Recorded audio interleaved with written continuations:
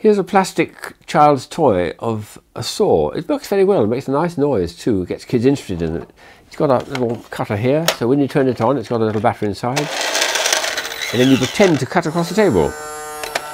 Like this.